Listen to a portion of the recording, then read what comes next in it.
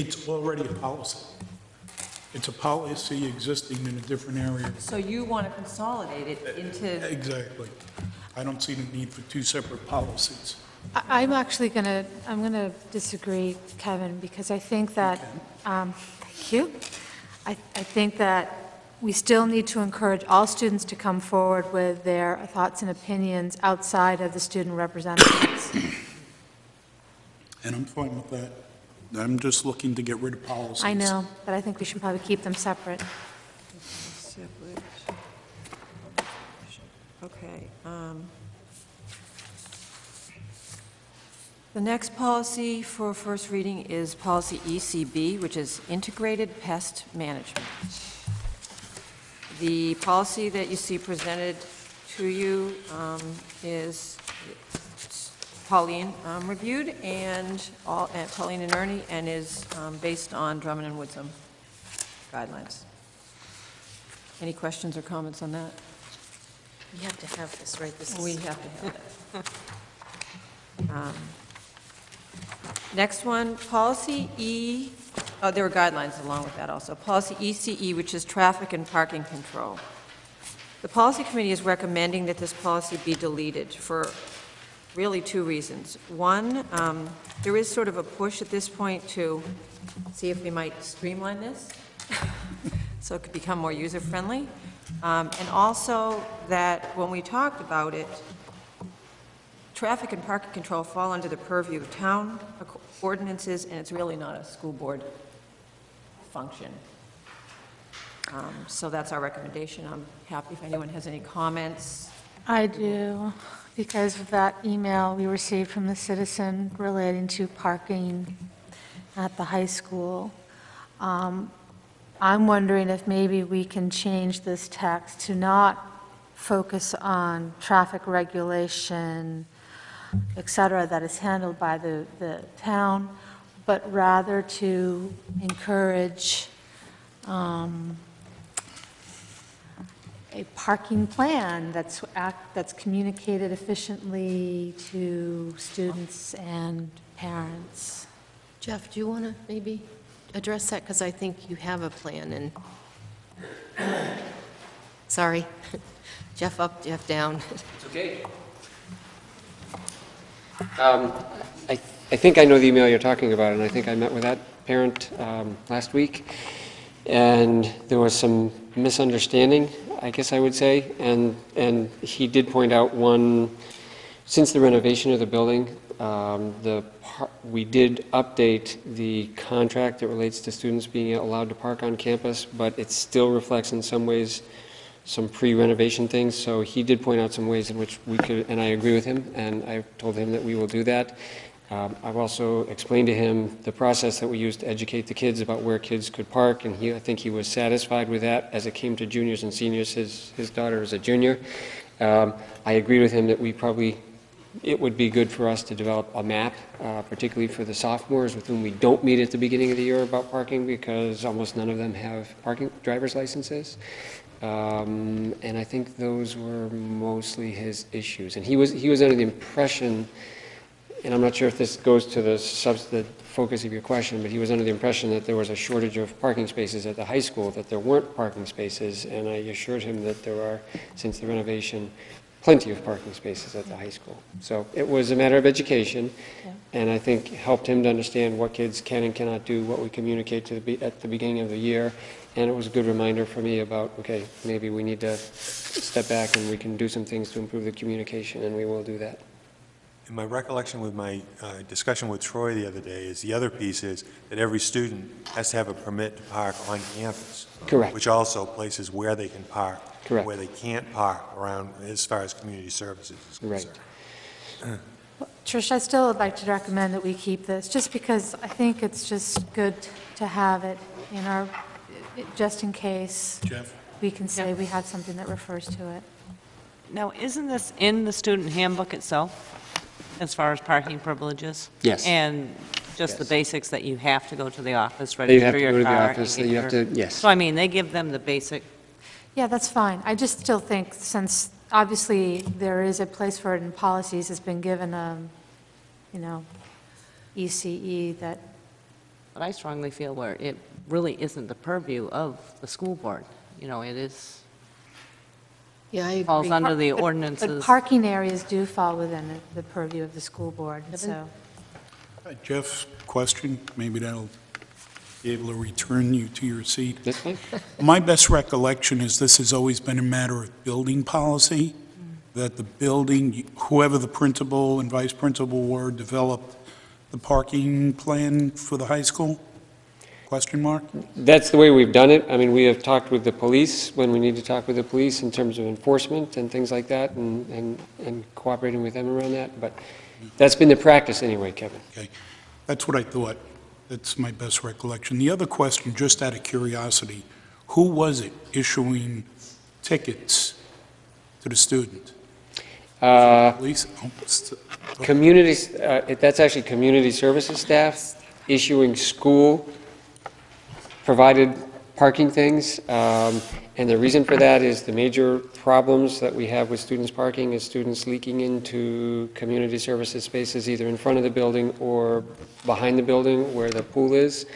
Um, And so we've worked together with the community services uh, folks um, um, so that they because it's their major interest to do it. They've been gracious enough to spend the time so that Troy and I don't have to do that. Um, It's not a big time expenditure, I don't think, by community services staff either, but when there are issues repeatedly, we will talk to the kids, and sometimes all we can do to get the message across is to, uh, is- is- yes. is- Uh, is- The is to question do I that. have is, what's the authority for doing that? I don't believe there's any legal authority for that across the state of Maine. And the second question is, wouldn't it be just as easy, since parking comes under the purview of the police department, to call the police and have them issue, a legal agent issue a ticket? Uh, If, my understanding is that the police will come over and they will issue tickets, for example, if a student parks in a handicap space um, or is illegally parked in a space which is not signed, but I don't think they've been happy about the possibility of ticketing students because they're parking in community center's space. I think their attitude is that's sort of the school and the community services responsibility to take care of that. And That's bizarre. I- I'm not, I, I'm I no, not, I'm not arguing with you, so, but i- i- if the parking falls under the purview of town ordinance, I don't understand where we get the authority to issue tickets. And I think we've just, there's a big can of worms there. And, you know, frankly, I don't care if the police don't like to give tickets, that's their job. Why don't I, why don't we take this back to the policy committee? If anyone has any comments or questions Sure. um, related to this policy, they can email them. is there anything you want to add to that, Sue? I don't, I don't know, but. Just to clarify, the ticket, it's a school ticket. It's not a legal police document. It's not a parking ticket. Well, I understand that. It's, uh, So what, what what is the, what is the repercussion of getting a school ticket? Students, students need to pay a fine. The money from the fine is used to pay for the kind of parking signs that the parent, um, um, and, and to sort of keep up with, with the maintenance of the parking spaces and that sort of stuff, but primarily signage. Um, I think it's $15 for four years' worth of parking.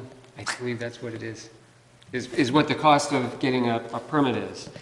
Um, So that's, that's what it is. I mean, we have talked to the police about it, it didn't seem like it was a problem for us to be able to do it. Have I spent, done any legal research to find out?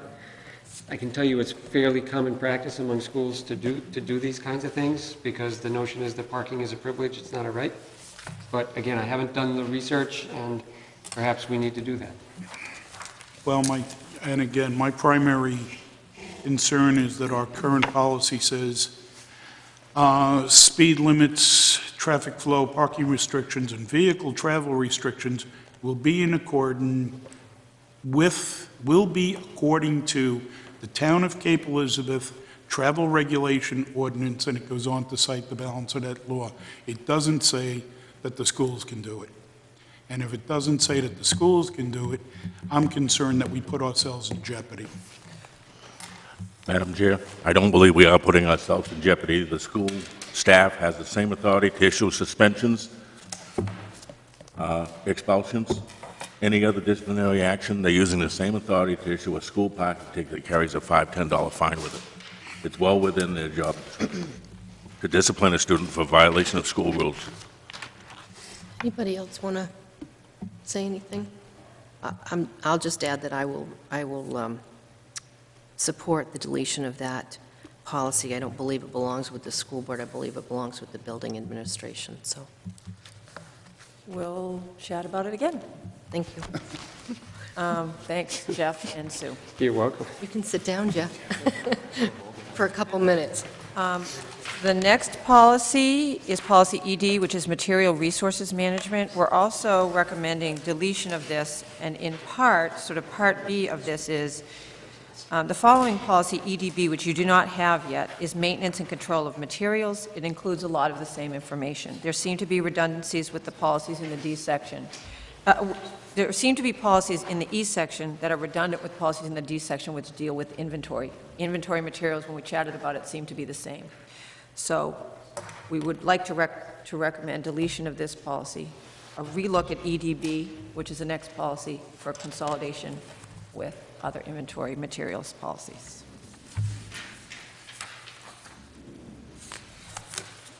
Any questions or comments on that?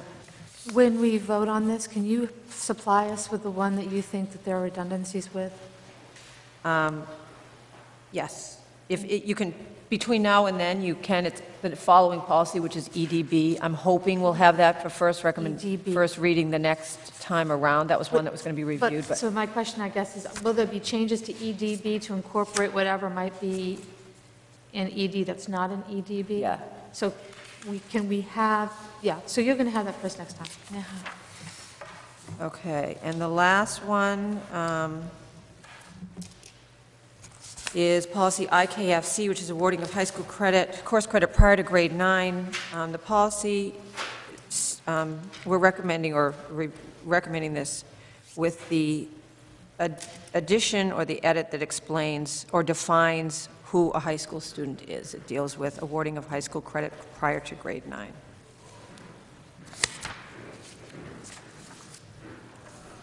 Any comments or questions on that one? I think that was, that one had been reviewed, uh, that was sort of Drummond and Woodsum. We had no other comments other than to define who a high school student was. I I do have a question, and hopefully I'm understanding this correctly, that if a child is sort of on an accelerated path, and they're working toward going to college at, you know, the age of 16 or whatever, and they're not technically in ninth grade, but taking courses in seventh or eighth grade, why would you, I don't think you're coming through on the microphone so they can hear. Okay. I guess my, my question is, when you, when you're defining a student, but are you saying, that they're you're not saying they have to be a particular age, but for them to receive any credit toward their GPA or their grade point average, they have to technically be a ninth grader? I'm just wondering for those who are on an accelerated path, if they're taking these courses in seventh and eighth grade with the intention of going to college sooner, would this prohibit them from? It seems unfortunate to me that it wouldn't be included in their GPA. Which one would you like to have address it this time? Steve, maybe? Steve, or- go ahead. part of the discussion that we were uh, having at the policy committee is that uh, there does come into play an issue of certification for teachers. If a student, let's say a student is taking an accelerated placement mathematics, so geometry, for instance, in, in the eighth grade, and we're considering should that student receive high school credit for it. If a teacher has K to 8 certification and is certified to teach mathematics and is teaching that geometry class, you could also have another scenario where a teacher is 7 through 12 certified in just math. If you're 7 through 12 certified, in a middle school, you can, uh, students could receive uh, receive credit for a math class taught by somebody with that certification, but you can't from someone who has K to 8 certification, general mathematics. So that really presents quite an issue at the middle school as far as staffing is concerned.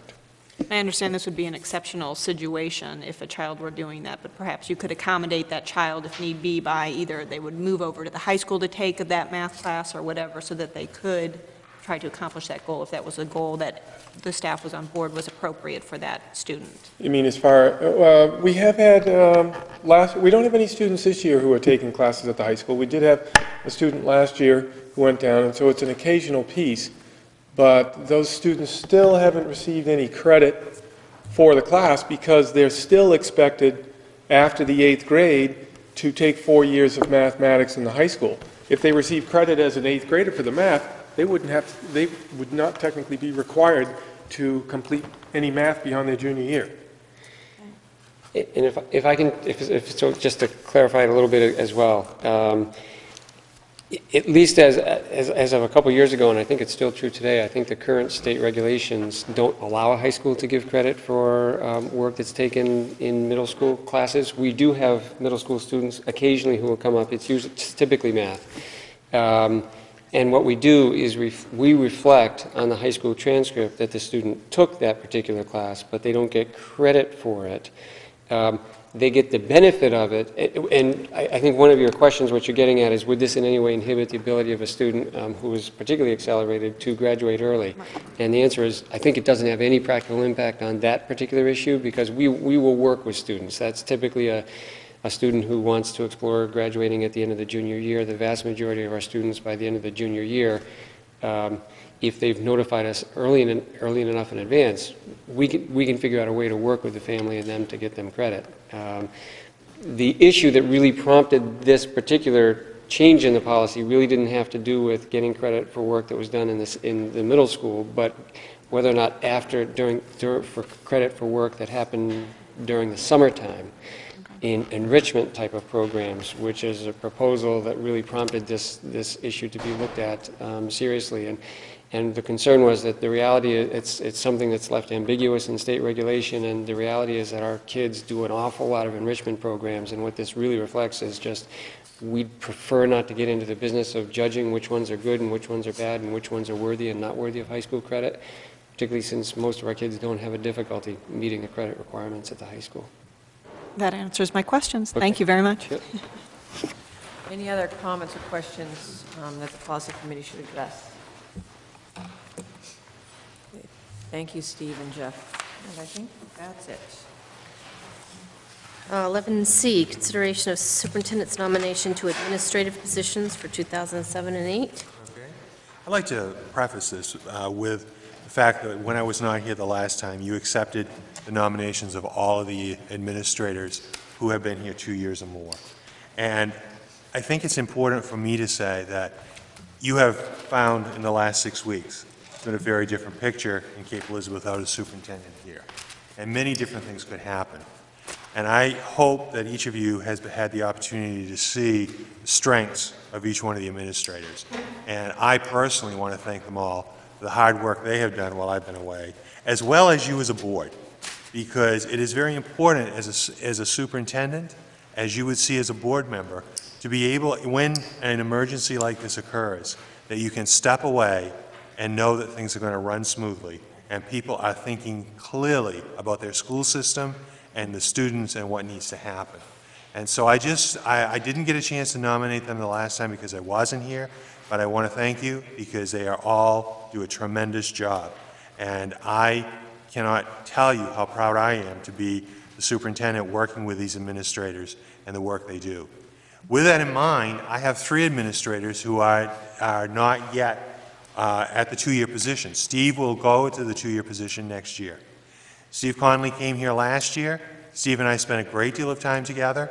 Uh, Steve has done a tremendous job at the middle school. Uh, With any school, when you come in as a new administrator, there are always changes that need to happen. There are always things that need to happen. And Steve has done that and done that well.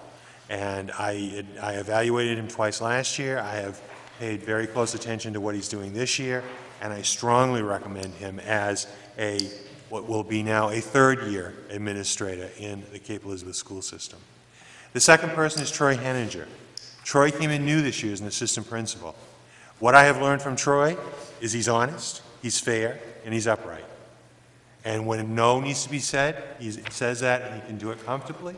And when yes needs to be said, he can also do the same thing. I think Troy has been a tremendous addition to the uh, high school. He and Jeff have worked very closely together, and I highly recommend Troy as going into his second year of probation as an administrator here in Cape Elizabeth. The third person is Dominic DePatsy.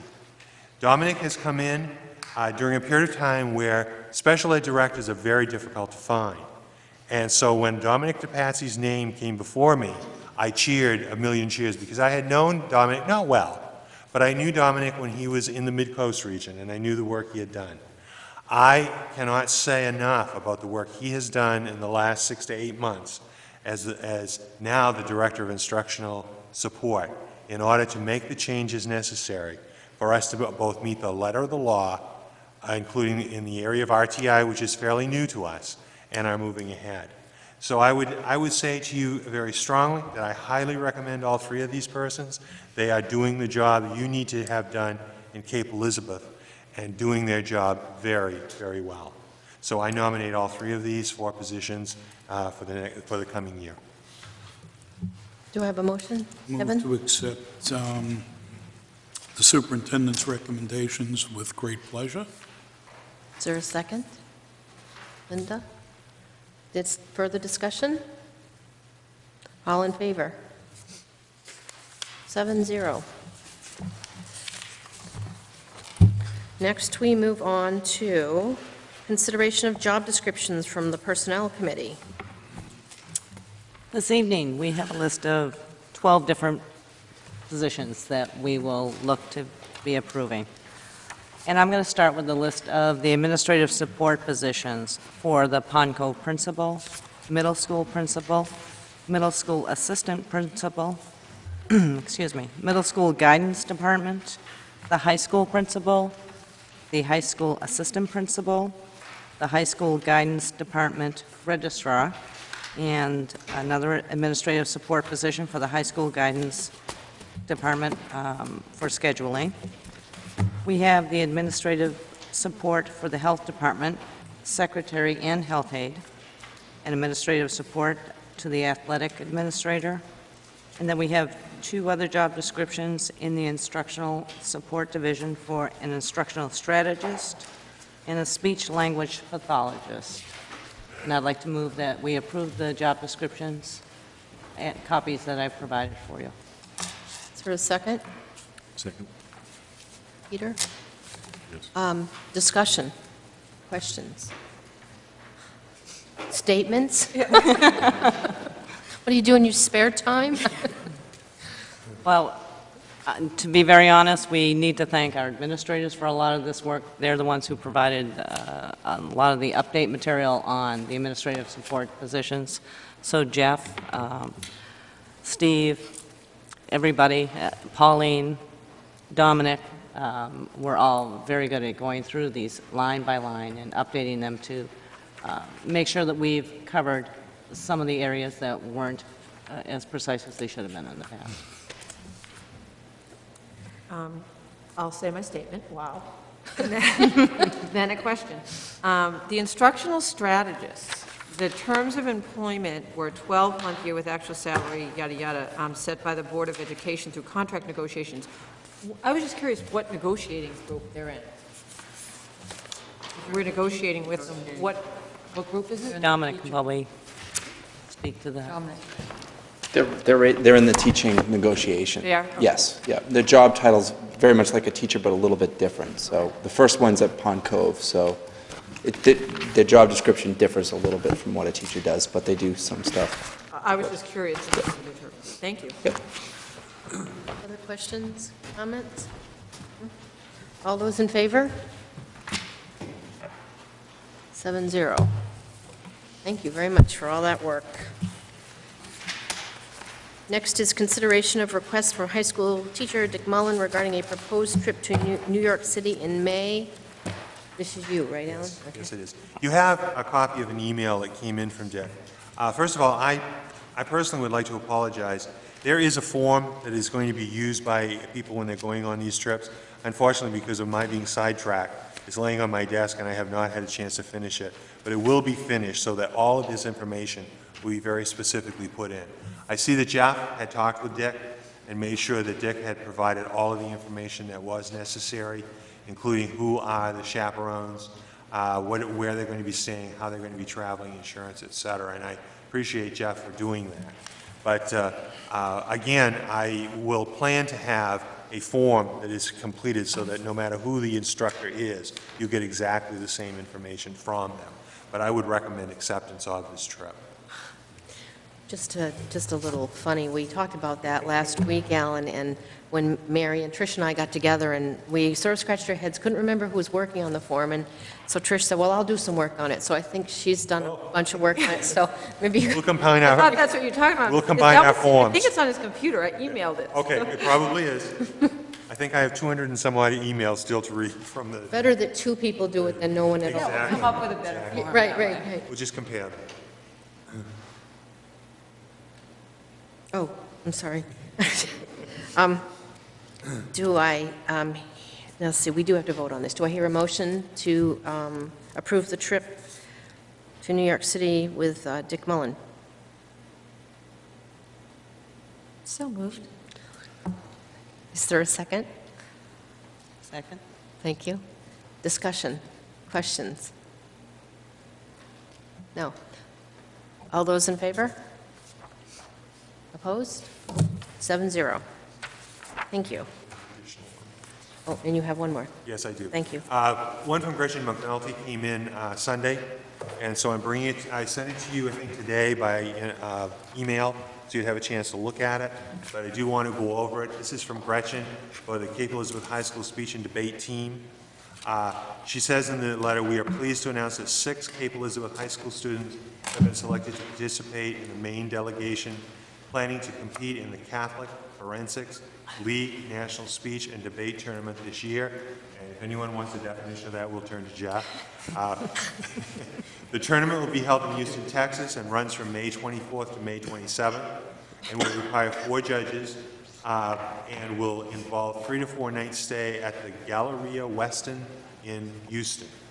Three of the students will miss one and one half to two days of school, while the other three are seniors on STP at that point in the year.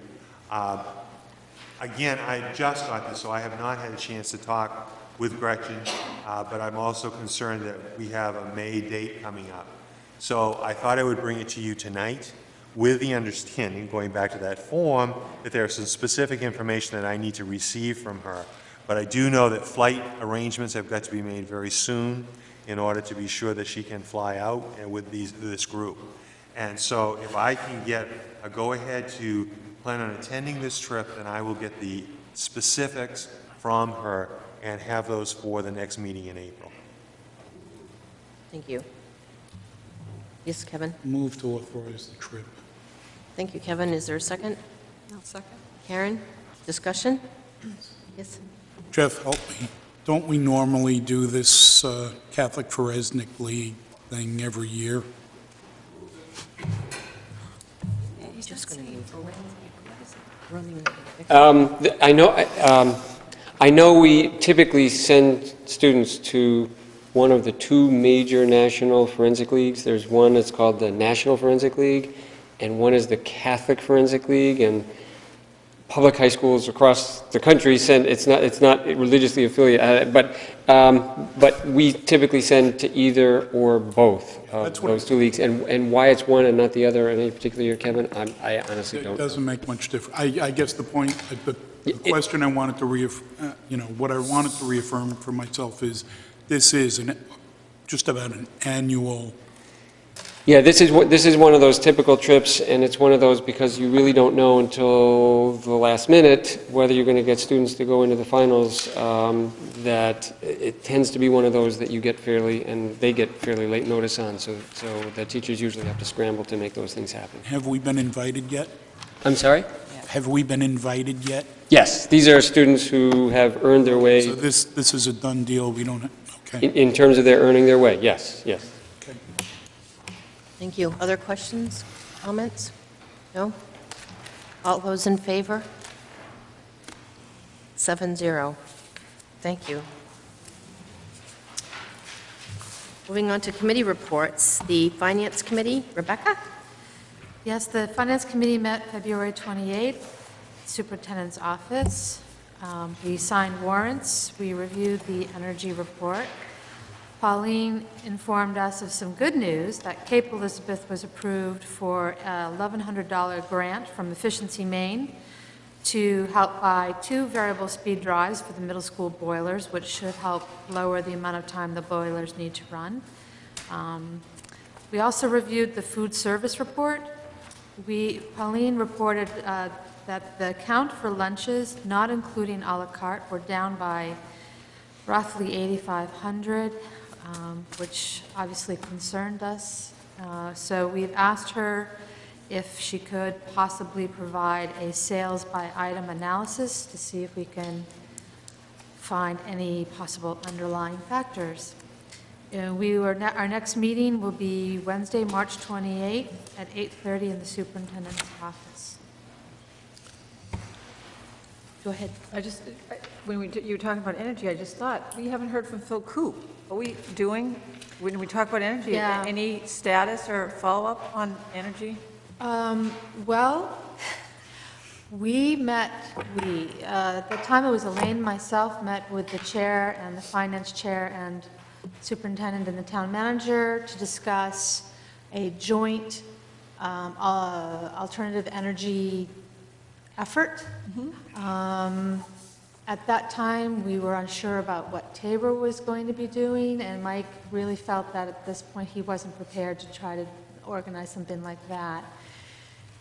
Subsequently, um, Kathy and I did try to, we did meet with um, the chair of the town council, but because, no, sorry, the finance chair of the town council, but because the chair was unavailable at the time, we postponed discussing the alternative energy. But you have reminded me that I should probably follow up on that, and I will do so. You just had some really cool ideas. that- Yeah, yeah. I apologize for letting Thank that you. through the cracks. Thank you, Rebecca. Policy Committee, Trish? Um, Well, most of the work we did, you've already talked about. We've already talked about. The only other thing that um, I guess we did discuss, I'm going to keep going in the e-policies, but which safety, we need to sort of review and talk about. Um, The only thing we concluded with, and we're certainly still in process, is um, a policy on naming rights, and it's sort of a big topic. So we looked at a couple different samples, we discussed various aspects of it, advertising, location of acknowledgements, et cetera, and we're going to put together a draft, to sort of discuss at our next meeting. And our next meeting is um, Tuesday, March 20th, in the William Jordan Conference Room. Thank you. Communications? Um, We have not met, but we have been very busy working on review with the assistance of many people throughout the district, so thank you, but we have not met since the last meeting. Great.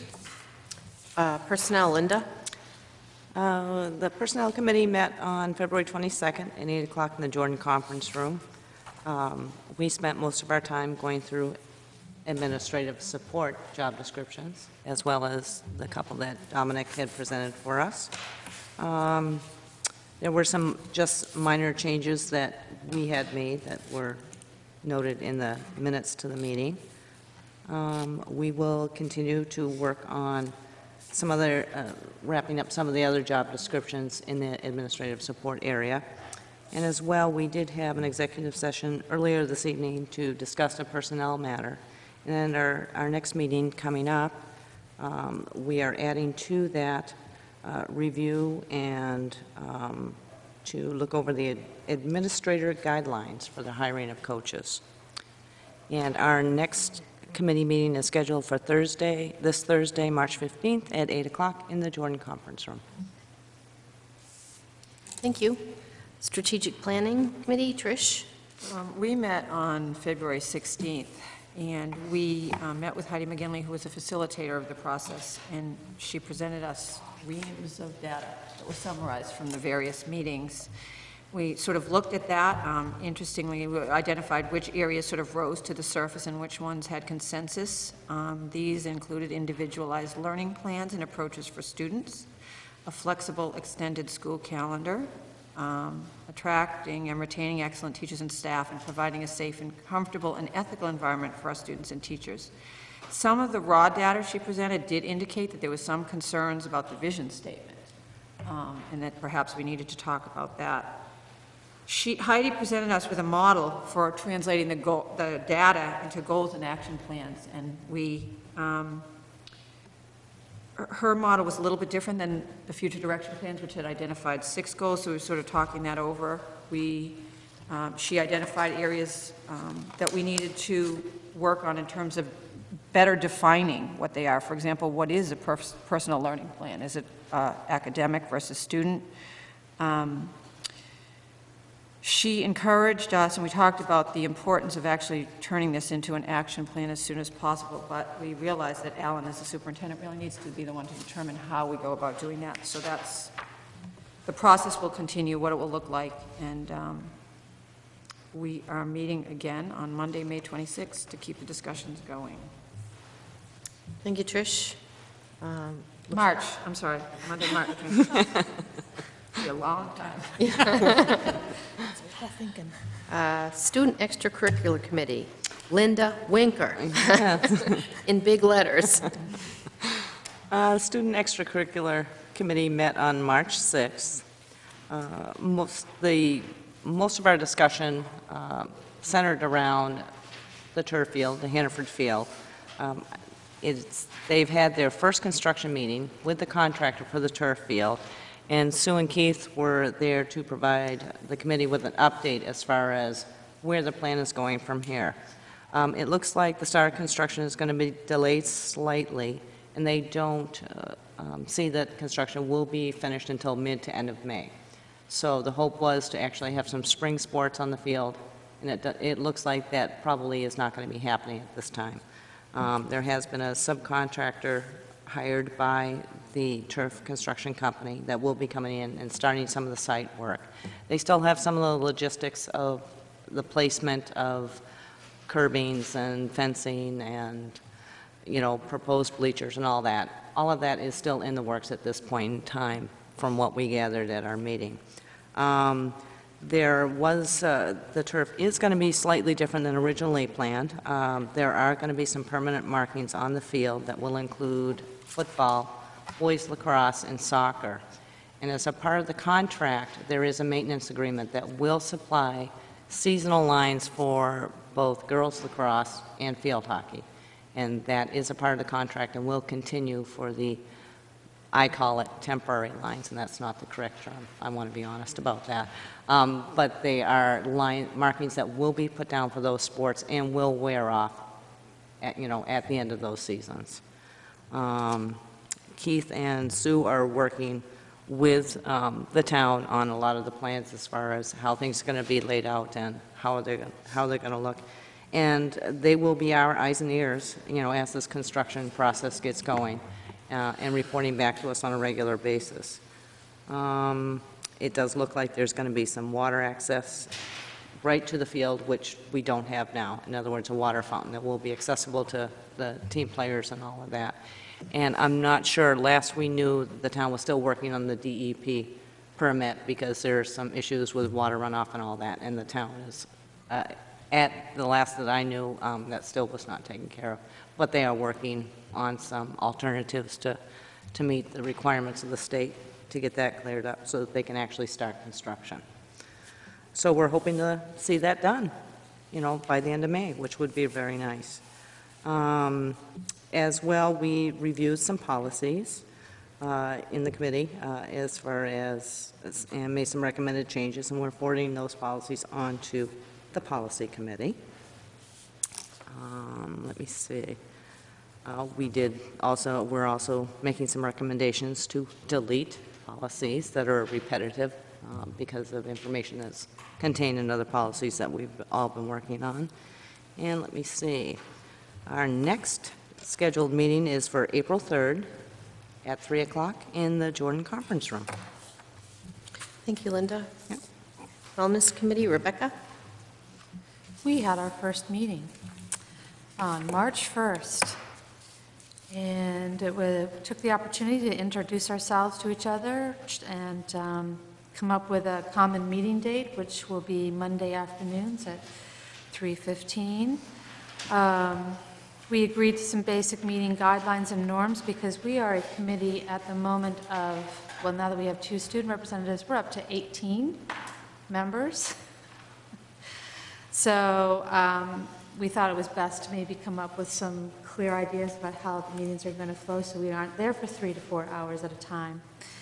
Um, It went really well. We, uh, Paula Harris kindly provided a brief brief overview of the history of wellness efforts in Cape Elizabeth. We reviewed the school board wellness policy and discussed short-term, which by that I mean November of 2007, and longer-term goals. The committee agreed that for now, the focus would initially be on nutrition and exploring um, the idea of adding psychological, emotional component to the wellness policy. And uh, within the November timeframe, the committee hopes to inventory existing wellness programs, learn of other school systems' efforts, invite speakers, and work to choose a program or recommend a program that best fits the needs and culture of Cape schools. In addition, there is a subgroup of the committee that will work on suggested changes to the wellness policy to include psychological, emotional components for a full committee review and discussion to then be passed up to the policy committee. Um, We are very lucky to be having Dr. Lisa Letourneau come to speak to us at our next meeting at April 2nd at 3:15. She is one of the founders of the Scarborough Wellness Initiative, and it's our hope to be able to um, garner from her strategies and lessons learned, so we don't uh, reinvent the wheel all over again here. Thank you. Kevin, do you have anything on PATHS? Yes, uh, briefly, our next meeting is this Thursday at noon. If anybody would like to join the committee for lunch, just give me a call. Um, I will be managing a three-ring circus, i.e. the PATHS budget hearings, um, which will not be going as smoothly as they have in the past. And um, if I survive the meeting, I will email everybody on the board um, with what's happening with uh, that particular budget. Thank you, Kevin. Kathy? Yes. May I um, speak about legislative?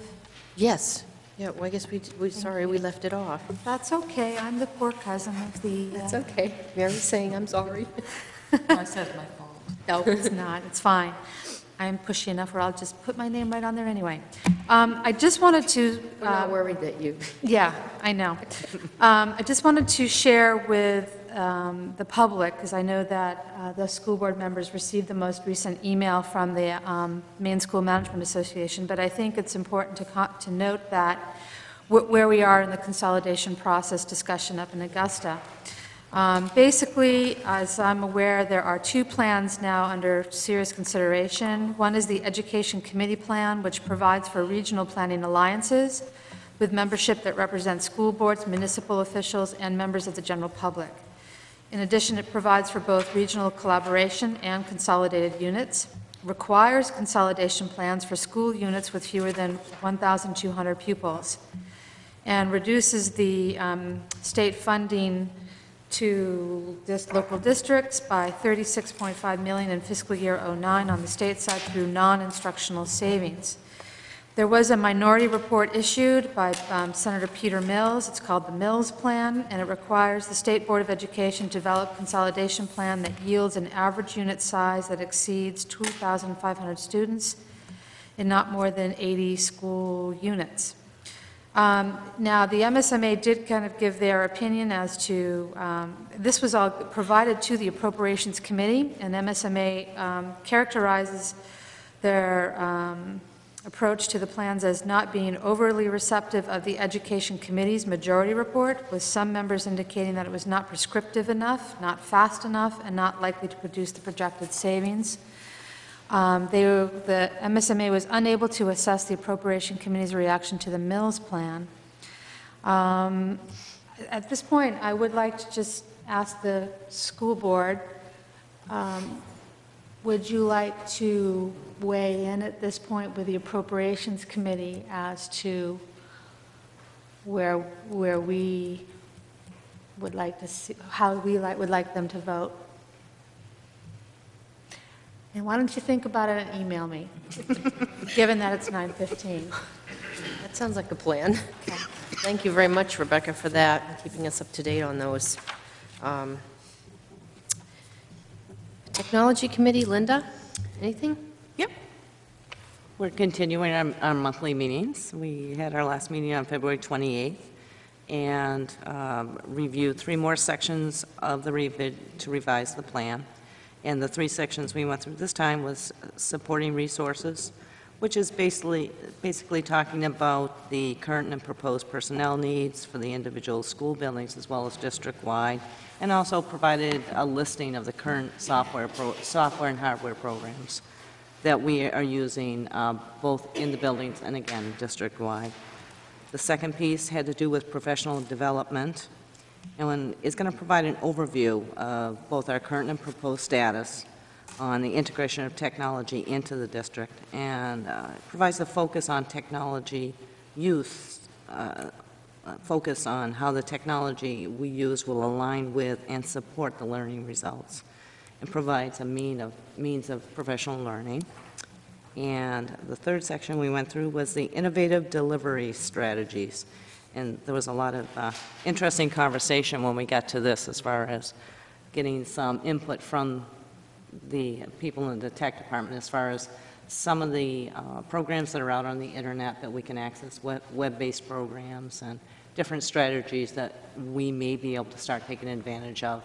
We have the technology, it's just learning uh, what is out there, what we can use, tapping into it, and training everybody district-wide how to use it and how it can be effective, you know, with our curriculum and in the classrooms. And uh, we have our next meeting coming up Wednesday, March 21st at 2:30. Thank you, Linda. Karen, did you? Yes, I have a question. I don't know if this has already come up in the Technology Committee, and I might have missed it. But out of curiosity, um, and you don't have to have the answer right now, I was just curious about tech staff um, at Cape Elizabeth versus other schools that are trying to accomplish some of the same things. Um, Just curious about the amount of people we have on board, because I know how hard a lot of the tech people work. I don't know if anyone has that information, or... Gary has that information. We talked about a part of that, and a part of that will be part in the plan. Okay. Mhm.